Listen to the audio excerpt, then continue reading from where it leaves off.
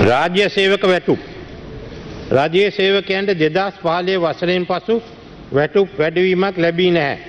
මේ නිසා රාජ්‍ය අයවැහැ සමබරතාවය නොබිඳු අයුරින් රාජ්‍ය සේවකයන්ට සහනයක් ලබාදීමට මා යෝජනා කරනවා.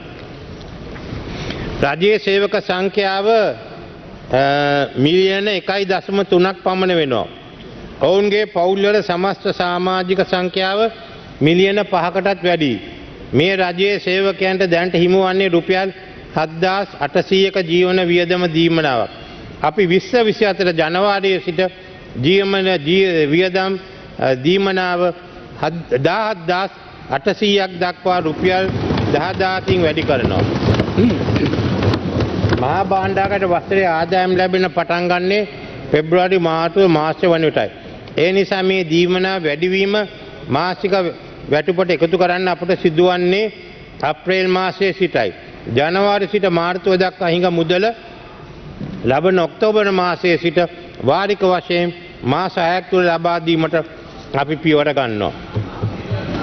විශ්‍රාම වැටුප් රජයේ විශ්‍රාම් වැටුප් ලබන්නන් ගණන හත්ලක්ෂ තිස්දාහක් ඔවුන්ට දැනට ලැබෙන රුපියල් තුන්දස් පන්සිය විසිපාක මාසික ජීවන වියදම දීමනාවක්. අපි රජයේ විශ්‍රාම් වැටුප් ලබන්නන්ගේ මාසික ජීවන වියදම් දීමනාව රුපියල් හයදස් විසිපා දක්වා රුපියල් දෙදස් පන්සියකින් වැඩි කරනවා. මේ වැඩිවීම විශ්ව විශ්්‍යතරය අප්‍රේල් මාසය සිට ක්‍රියාත්මක වෙනවා. විශ්ව විශ්වත්තර වසරේදී රුපියල් බිනය තුන්සිය අසූහක් විශ්‍රාම වැටුප වෙනුවෙන් අයවැය කරනවා. වැන්දමු සහ අනත්දරු විශ්‍රාම වැටුප. එවැන්දනු සහ අනත්දරු විශ්‍රාම වැටුප සේවකයන් සිය මූලික වැටුපෙන් සියයට හයයි හතක් දායකත්වය ලබාදිනු ලබන දායකත්වය විශ්‍රාම වැටුමක්.